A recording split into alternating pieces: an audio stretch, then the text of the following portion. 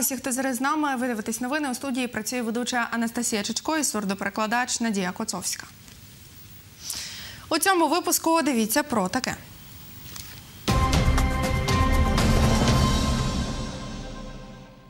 Микола Іщишин з Бережанщини, який в зоні АТО травмував хребет, півроку не міг отримати групу інвалідності і пенсію.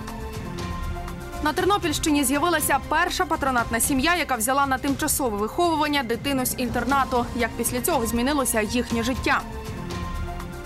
У Кременці варили 11 літрів вишневого борщу за рецептом, який з'явився після Другої світової війни.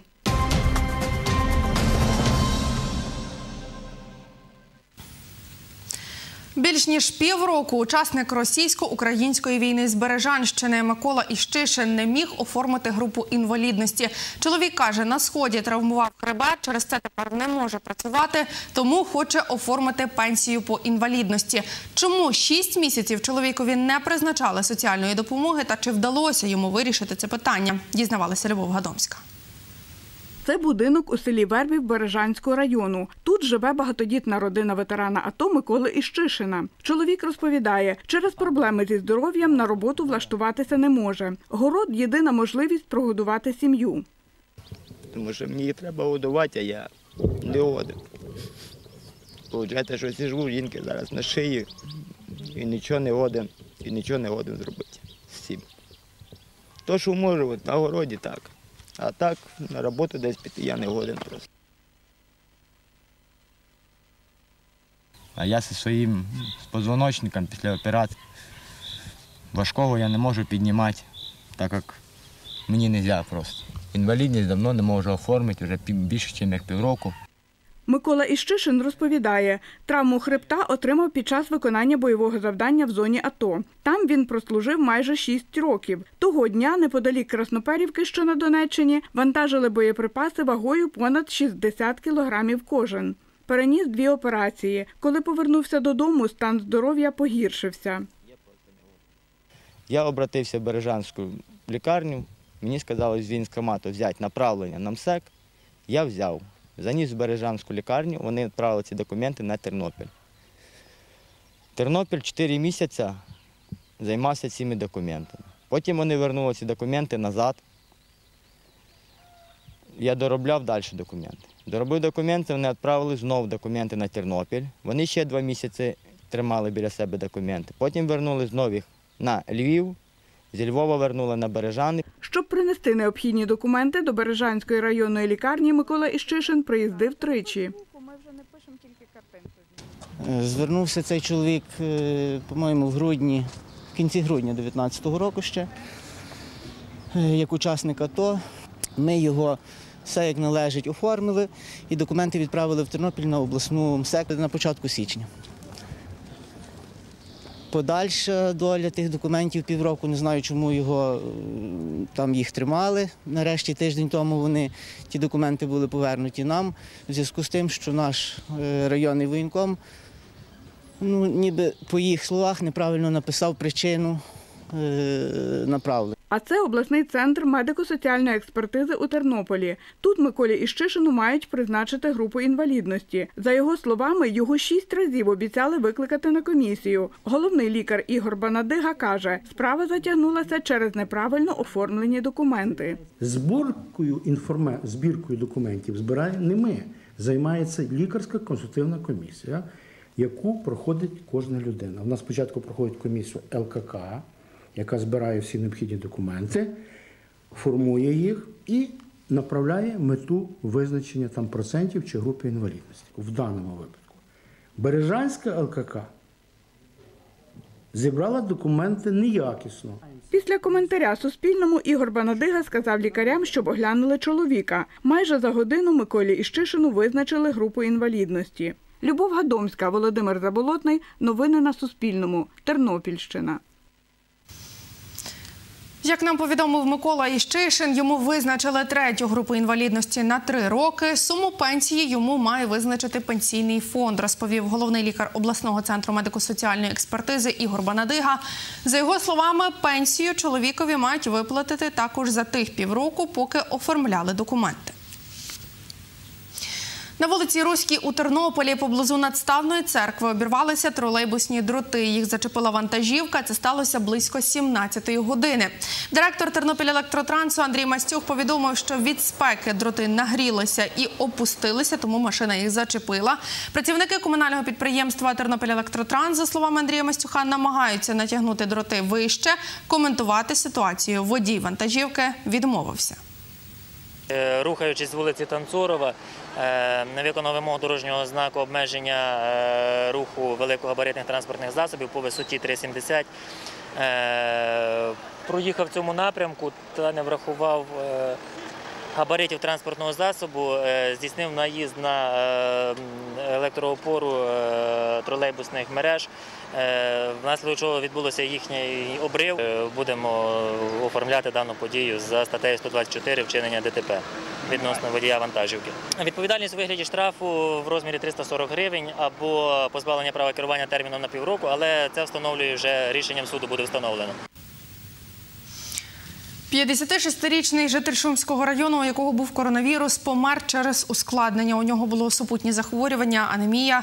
Про це розповів епідеміолог обласного лабораторного центру Володимир Паничев. За його словами, це друга смерть від коронавірусу з початку цього тижня у цьому районі. 6 липня від ускладнень помер 78-річний чоловік. З початку пандемії на Шумщині померли 10 людей. Це найбільше летальних випадків порівняно з іншими районами області, каже Володимир Паничев.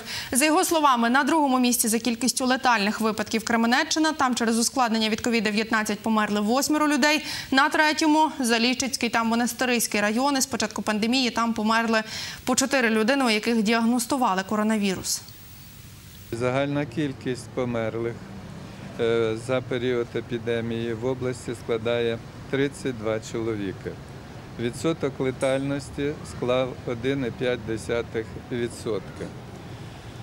В Україні такий відсоток складає 2,6%. Кількість е, спалахів не збільшилася і кількість постраждалих в спалахах так само не збільшилася. Середня кількість випадків, що реєструється за добу в області, коливається в межах 20-30 випадків. В середньому це 25-26. За попередню добу, як ви чули, 21 випадок. За словами Володимира Паничева, захворіли чотири люди у Тернополі, чотири людини у Тернополі, вісім у Гусятинському районі, три в Тернопільському, по дві особи в Кременецькому та Збаразькому районах і по одній людині захворіли у Теребовлянському та Лановецькому районах. Видужили за добу 10 осіб, каже Володимир Паничев. За його словами, методом полімеразно-ланцюгової реакції провели 267 досліджень. Загалом цим методом обстежили 26 тисяч 853 особи. За словами Володимира Паничева, таке дослідження дає змогу виявити хворобу у перші дні інфікування. З початку пандемії в області, каже Володимир Паничев, COVID-19 виявили у 2174 людей. З них 1353 особи вже видужали.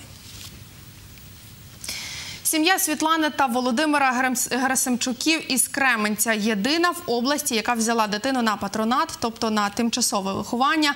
У них четвертий місяць живе 17-річна Ірина. Окрім того, у сім'ї двоє власних дітей. Чому вирішили стати патронатними вихователями та що після цього змінилося у їхній сім'ї? Дізнавалася Діана Ярошенко.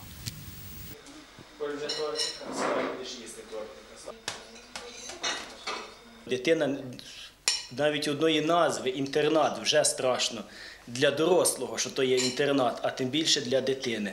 А так як для дитини повідомили, що йде в сім'ю, я думаю, що це їй більш приємніше як інтернат. 17-річна Ірина в цій сім'ї четвертий місяць. Каже, тут їй приділяють більше уваги, ніж у дитячому будинку. Своє обличчя дівчина попросила не показувати. Там багато дітей, відношення зовсім інше. А тут більше вихованіші ну, стають, стають діти. І не знаю, дуже хороші люди тут. Ну і дітей не так багато. Володимир Герасимчук працює пожежником. Світлана раніше була безробітною. Тепер їй рахуватимуть стаж як патронатній виховательці. Ірина перша дитина, яку сім'я взяла на патронат з дитячого будинку. В Світланиної мами є вже прийомні діти. Вони нічим не відрізняються від наших рідних, особистих, які ми народили. Вони такі самі діти, які хочуть любові, тепла і захисту сімейного. Лікарі казали, що в нас здорових дітей не буде. І благодарність тому, що в нас є здорова дівчинка, дякувати Богові. У нас Владік є. Ми до того рішення прийшли.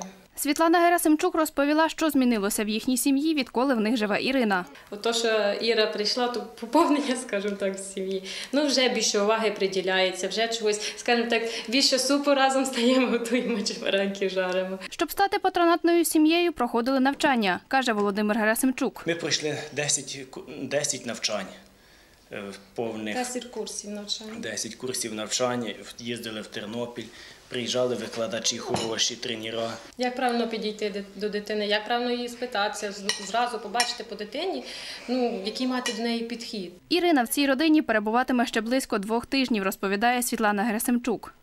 У патронатній сім'ї діти живуть від трьох до шести місяців, розповіла директорка Центру соціальних служб Кременця Алла Злочевська. За її словами, на Тернопільщині таких сімей дві. Дитину виховують наразі лише Герасимчуки. На той час, коли ми передавали дитинку на спільне проживання, це була єдина патронатна сім'я, яка функціонувала в нас на території району і області. Дитина була в притулку, і її вона категорично відмовилася в подальшому їхати в притулок.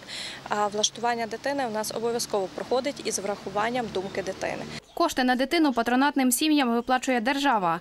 Також той член сім'ї, з яким підписали договір, отримує офіційну заробітну плату, розповів начальник служби у справах дітей Тернопільської облдержадміністрації Ростислав Дрозд. на дітей, які е, проживають в такі влаштовані до такої патронатної сім'ї. е, Надається допомога в розмірі е, 2,5 прожиткових мінімумів на дитину. На сьогодні це складає, ну залежить від віку дитини, це сьогодні складає від 5 до 6 тисяч гривень місяць. Якщо дитина, е, можливо, має інвалідність або має певні вади, тоді так, е, то надається три прожиткових мінімуми. За надання таких послуг е, надається допомога у розмірі п'яти прожиткових мінімумів. Ну, сьогодні це складає 11, близько 11 тисяч гривень. Діана Ярошенко, Володимир Заболотний. Новини на Суспільному. Тернопільщина. Патронатними вихователями можна стати із січня цього року, розповіла Алла Злочевська. За її словами, у ці сім'ї можуть забрати дітей, якщо хтось із їхніх біологічних батьків алко чи наркозалежний, є домашнє насильство, або ж якщо є інші обставини, через які біологічні батьки не можуть виховувати дітей. Поки дитина живе у патронатній сім'ї, соціальні служби намагаються допомогти біологічній сім'ї вирішити ці питання. Закон про створення патронатних сімей як нової форми влаштування дітей Верховна Рада України прийняла 26 січня 2016 року. Від трьох до семи років можуть ув'язнити 57-річного жителя селища Гримайлів Гусятинського району, який вирощував коноплі і мак. Про це розповів начальник превенції патрульної поліції Гусятинщини Сергій Остафійчук. За його словами, коноплі висотою понад 2 метри. Чоловік посадив на городі. Наркотики поліцейські знайшли під час операції МАК. Чоловік розповів поліцейським, урожай вирощував для птахів. Вирощую е, я пташки. Попугайчики, канарейки, голуби. Вирощується для власних потреб. Для Голуб, пташків, для, так? так, для, я під пташки. Начальник превенції патрульної поліції Гусятинщини Сергій Остафійчук розповів, скільки рослин маку та коноплі вилучили у чоловіка. Вилучили 265 рослин коноплі та 202 рослини снодійного маку. Як пояснив е, житель СМТ Гримайлів 1963 року народження, е, вказану е, рослини коноплі та снодійного маку він вирощував для власних потреб. За даною подією відкрито кримінальне провадження за статтею 310 частиною 2 Кримінального кодексу України. Це незаконний посів чи вирощування снодійного маку у кількості 500 і більше рослин або конопель у кількості 50 і більше рослин, каже Сергій Остафійчук. 12 конопель також знайшли сьогодні у тернополянина, який вирощував рослини на даху багатоповерхівки. Про це розповів речник Нацполіції області Сергій Крета. За його словами, до чоловіка поліцейські прийшли через те, що підозрювали його у переховуванні гвалтівника. Сергій Крета каже, у квартирі тернополянина також знайшли пістолет. Зараз визначають, чи він бойовий, травматичний чи пневматичний. На тернополянина подали до суду за незаконне поводження зі зброєю, бойовими припасами та вирощуванням снодійного маку чи конопель. Його можуть ув'язнити від 3 до 7 років. Нагадаю, на Тернопільщині, як і по всій Україні, операція під умовною назвою МАК триває з 1 червня до 26 вересня.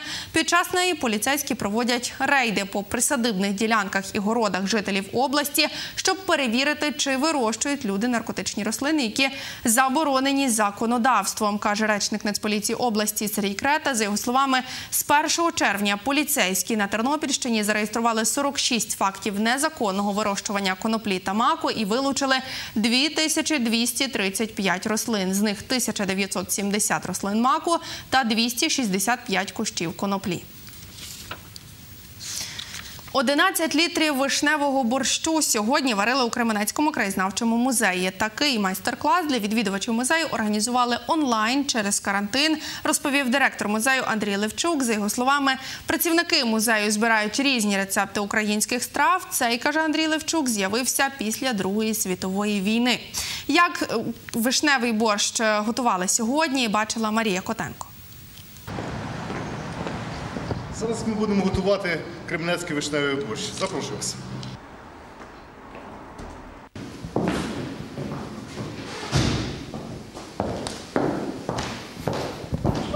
Знаходимося у виставковій залі Кременецького краєзнавчого музею. Тут директор Андрій Левчук варить автентичний вишневий борщ. Захід відбувається е, саме в цьому приміщенні через карантин. Тут присутні кілька працівників музею. Вони дотримуються соціальної дистанції та знаходяться у масках. Перед приготуванням борщу зварили бульйон на свинячих ребрах і домашньому півні. Також додали корінь петрушки та цибулю, каже Андрій Левчук. Він унікальний тим, що його можна готувати лише в один сезон в році, коли саме стиглі вишні, і е, вони мають свій смак набирається. Це буквально від 10 до 2 тижнів часу. Тепер кидаємо картопельку. Зараз ми додали горох, тому що ми готуємо молодий борщ.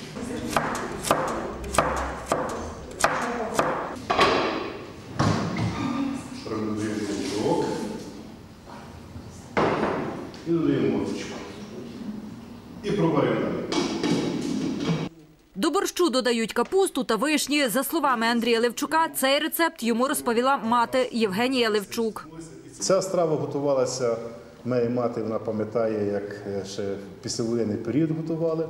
Звісно, е, тоді стільки е, не було змоги класти і свинячий хреберець, і там і півня цілого, там і ще ще, ще деякі страви берели з того, що є. Але враховуючи її досвід, її поради, от в принципі це лягло в нашу основу. 50-60 роки. Так. Самий головний інгредієнт цього борщу нашу вишню. Вимішуємо на молодому вогні, на повільному, щоб, щоб тільки жевріло. Ми далі доварюємо цей борщ. Наприкінці Андрій Левчук засмажує цибулю на смальці та додає муку. Каже, у цьому секрет страви. На великому вогні робимо зажарочку. Зараз і ось вишні плавають. Коли будете смакувати цей борщ, ви відчуєте, як зупиняється час. На цьому у мене все. Більше дивіться у наступному випуску новин о 20.30. І далі в ефірі тема дня. Тож не перемикайте.